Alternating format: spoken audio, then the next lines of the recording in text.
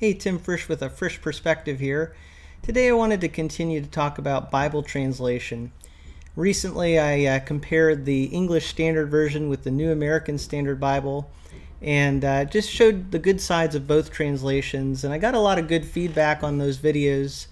Uh, and I asked people if there were other translations that, I, that they wanted me to compare. And a lot of people gave suggestions for other translations to look at. So thank you so much for those of you who gave feedback. I look forward to continuing to talk about different translations and how they compare to each other. Today I want to talk about something that I think is, is really interesting. It's just an observation that I made. Um, and it has to do with the New International Version and the English Standard Version. Uh, and then another version that I think actually really relates to those two. When I think about the New International Version, uh, really, what I think about it is that it is the number one evangelical translation. Now, I know that a lot of people like other translations and, and people are very gung ho about other translations, but when it comes down to it, the most popular or the high, most highly sold translation in the evangelical Christian world uh, is the New International Version. It's, it's used very widely and has been for many years. It's been around since the late 70s, early 80s. So the way I look at it is the New International Version is kind of the, the top version. Obviously, the King James is, is still in use to a great degree, but I'm just talking about overall the trend has been toward the New International Version, and it is the number one selling translation from the charts that I've looked at. Uh, so then you have all these other translations that are that are also new and very good translations and some of them are very popular among evangelicals, like the English Standard Version and the New American Standard Bible and uh, the Christian Standard Bible, the New King James Version, among others. So when you look at all of these, the way I see the picture is that the NIV is kind of the number one translation, and then these other translations are really vying for second in many ways. But the one that's really given the NIV probably the most run for its money is the English Standard Version. Uh, and so that's interesting, and I think there are reasons for that. I mean, the ESV came on the scene in 2001, and its translation philosophy was uh, very appealing to some people, more of a literal translation than the New International Version. Not that the New International Version is uh, loose or extremely paraphrastic. In other words, it's not paraphrased a lot, it's a very accurate translation, but it is more thought for thought and the English Standard Version is more literal. So the timing of the English Standard Version, the philosophy of the English Standard Version translation, it just pulled a lot of people in, and of course the marketing of the English Standard Version, like the New International Version, was done so well. Uh, so NIV is Zondervan, ESV, English Standard Version is Crossway, two great companies, and so they have really built their market share in the Bible world. I was just reading a little booklet put out by a pastor, some of you may know, uh, Kevin DeYoung, and he was talking about why his church switched from the NIV to the ESV. Uh, and this was written in 2011, and I think they made the switch some years before that in the 2000s. And uh, it really followed his own journey because he had grown up using the New International Version and then he himself switched to the ESV, and eventually the church he was pastoring switched to the ESV as well. He gives reasons, uh, seven reasons in this little booklet why they switched to the ESV.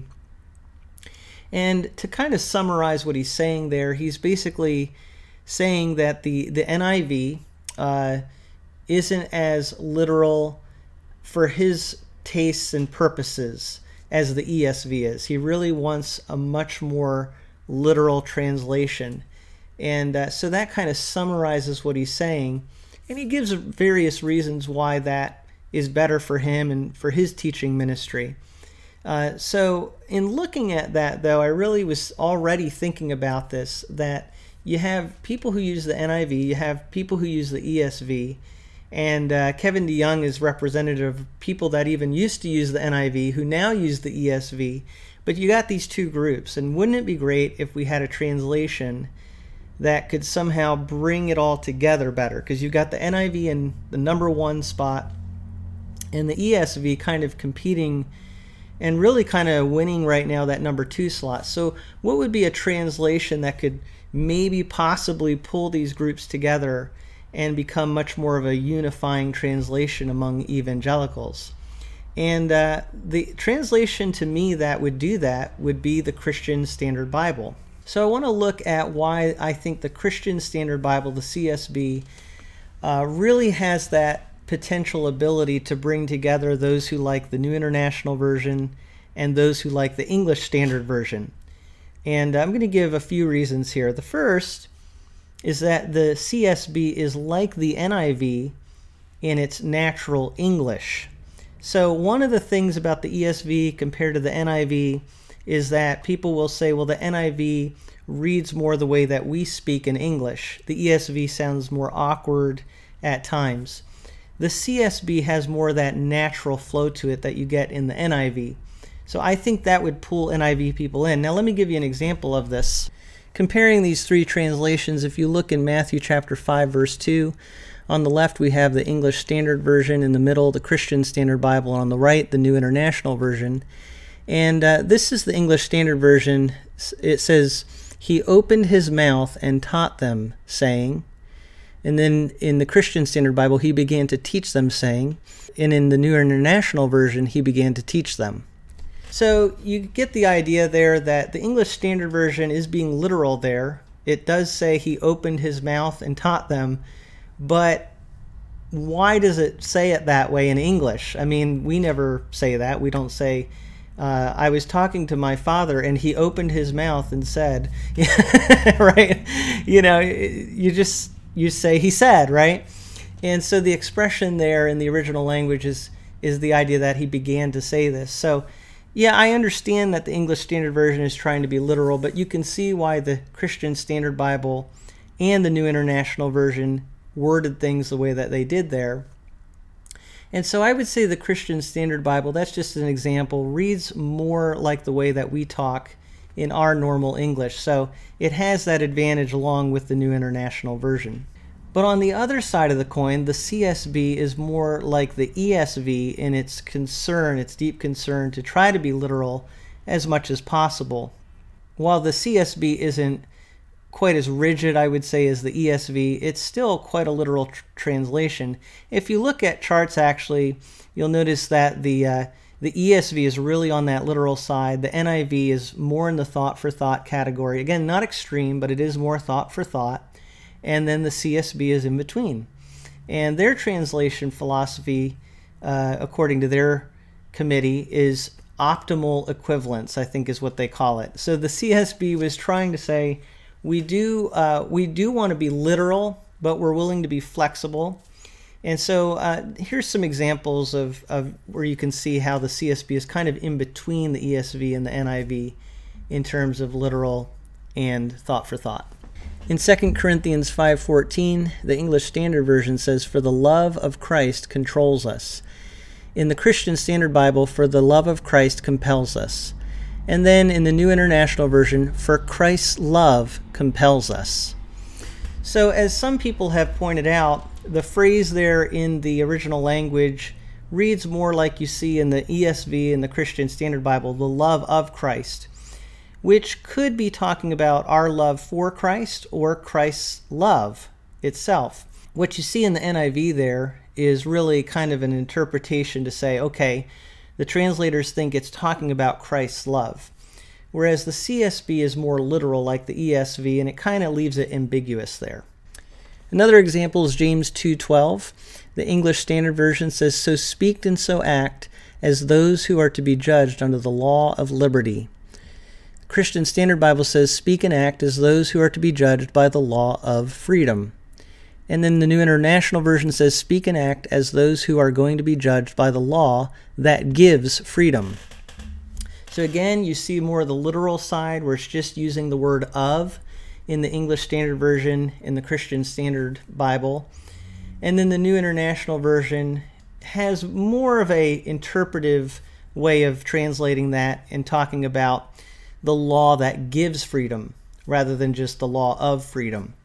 Now, I'm not saying that's a totally bad thing that the New International Version is doing, but I am saying that you can see how the CSB in these examples is more literal, like the ESV. Now, let's look at another example in 1 Thessalonians 1 3. The English Standard Version says, Remembering before our God and Father your work of faith and labor of love, and steadfastness of hope in our Lord Jesus Christ.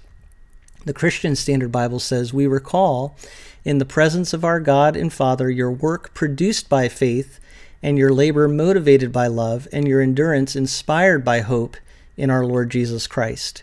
In the New International Version says, We remember before our God and Father your work produced by faith, your labor prompted by love, and your endurance inspired by hope in our Lord Jesus Christ you have in the original language there, again, phrases that tend to use the word of.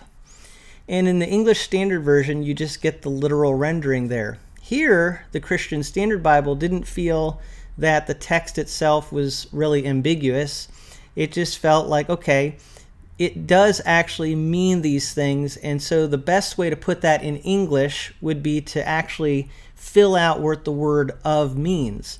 So it's a little bit more flexible like the NIV here, it's not quite as literal as the ESV. So I think when you put all these examples together, you can see that the Christian Standard Bible, if it's ambiguous in the original text, does try to be literal, but if possible, it tries to word things in a way that we would speak in English, in a way that's understandable to us as English readers.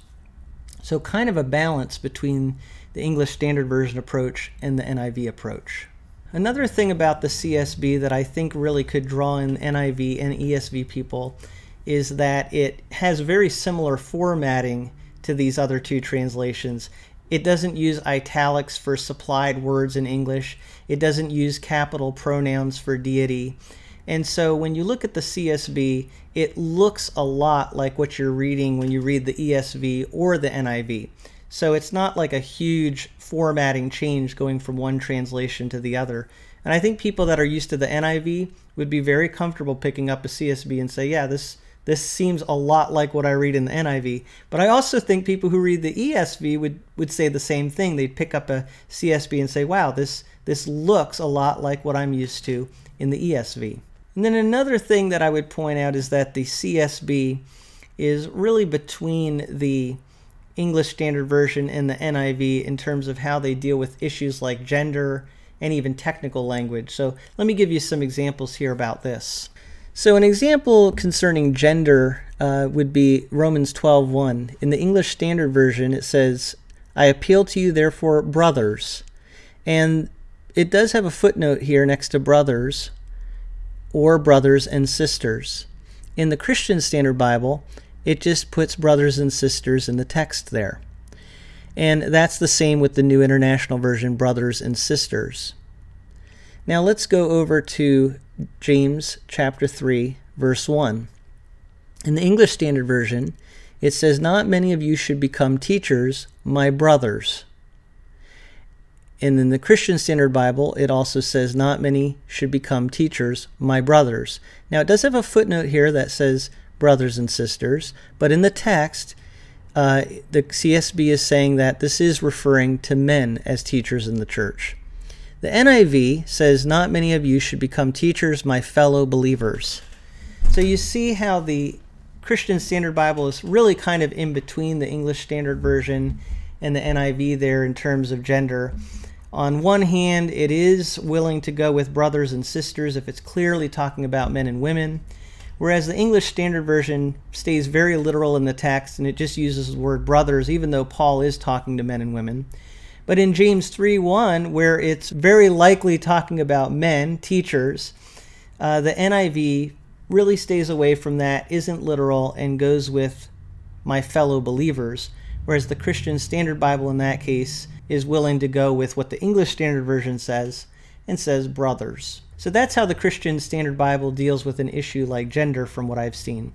Uh, now, the other thing would be technical language. So let's look at an example of uh, how they compare to each other in that way. So one example here, 1 John 2 2, the English Standard Version says, He is the propitiation for our sins. And the Christian Standard Bible says he himself is the atoning sacrifice for our sins. It does have a footnote that says, or the propitiation. The New International Version says he is the atoning sacrifice for our sins.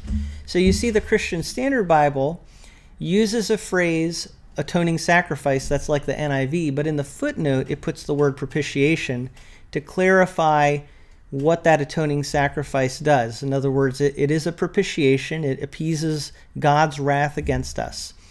But the word propitiation is a technical word that a lot of people don't really understand today. And so the English Standard Version using the word propitiation is technically correct, although the idea there uh, of atoning sacrifice is also true. So the CSB kind of gets right between the NIV and the ESV and says atoning sacrifice and puts a footnote saying propitiation. So it doesn't always use all the technical language, although I would say it uses more technical language probably than the NIV, but not so much technical language as you have in the ESV. So in just looking at some of these examples, and I could give others, but you get the idea, the CSB could really appeal to people both in the NIV group as well as the ESV camp. And I think that uh, it's a great translation for many reasons, but one reason being that it could pull Christians together. Uh, now, will it do that? Uh, I think there are some major hurdles for that to happen. And so I just want to talk about that a little bit here. The first obstacle uh, would be that, you know, you have people that have used the NIV and the ESV for years. I mean, the NIV has been around for decades and now even the ESV has been around for a couple of decades, and they have really built a uh, trust with their readers and the people who use the NIV, as well as people have just gotten used to these translations. So there's a real affinity for these translations that people have developed. So it's hard for people to switch. If they really love the English Standard Version, it's hard for them to switch to something like the CSB. And maybe they don't have that trust level there that they have with the translation they already use, and the same with people who use the NIV. So you have that obstacle, it's just people have used the NIV and the ESV for years. Another obstacle, of course, is just the marketing competition there. Uh, again, the NIV has been marketed so well by Zondervan for decades, the ESV being marketed by Crossway, and they both have put out amazing editions uh, of their translation for years. So people just love what is available to them. And Holman, who puts out the Christian Standard Bible, has to compete with these other top notch marketing groups. Now, I will say, Holman is also really good at marketing themselves. So if anybody can uh, give them some good competition, it is Holman, but still, it is a challenge. Uh, you have just great companies that are uh, putting these translations out there. That's one of the reasons these translations have done so well is because they are so good at marketing. And then one other reason I'll give for why it is hard for the CSB to really make inroads and kind of become the unifying translation is because people do fit into one category or another for a reason. So I've been talking about how the NIV is more thought for thought and the ESV is more literal and really beyond what people say is their reason for for uh, going with a certain translation. There there are other reasons, other factors that uh, that play into it, and, and some factors that they may not even be fully aware of. So there are reasons why people like these different translations already, and uh, and that's why we have people in these different camps. But I will say this that the King James Version, when it was produced, was actually produced during a time when you had different camps within the Church of England. And so you had more of the establishment and the people that were the theologians and the uh, the bishops and people like that. But you also had people who were zealous and wanted to reform the church and make it as biblical as possible, Puritans. And so the King James Version was actually a version that was able to bring these two groups together. Now, one of the advantages is, from what I know, that these two groups actually had the opportunity to work on the King James translation. The CSB, while in theory could bring different groups together, I'm not really sure that these different groups have participated in the creation of the Christian Standard Bible, and so that might still be an obstacle. But I do think that that historical precedent of the King James Version shows that a translation can bring different people from different groups together. And personally, I would love to see a translation that does actually become the standard translation for Christians of different groups. There was a fellow Christian who recently wrote why he would say the Christian Standard Bible is his standard Bible. And uh, he's actually from England. So I thought that was pretty cool. Here's a guy who's not from America and doesn't really uh, know a whole lot about Holman or the uh, Southern Baptist Church that Holman is tied in with. Um, and yet he would say, just objectively speaking, he thinks that the Christian Standard Bible is uh, is a is a Bible that really resonates with him, and uh, and he thinks is is a great standard Bible. So that's a lot of food for thought. But basically, I was just thinking about this already, and uh, just contemplating how the CSB kind of fits that niche right between the NIV and the ESV. And I was just reading Kevin DeYoung and why his church switched from the NIV to the ESV. And uh, it just kind of reinforced this thought that, again, the NIV top translation has been best selling for a long time now. The ESV is really vying for that second place spot in evangelicalism, but you still have a divide there between NIV and ESV. Is there a translation that could bring it all together and give us a standard Bible for Christians? And uh, I would say that is the Christian Standard Bible. Thank you so much for listening to my thoughts and opinions brought to you from a Frisch perspective.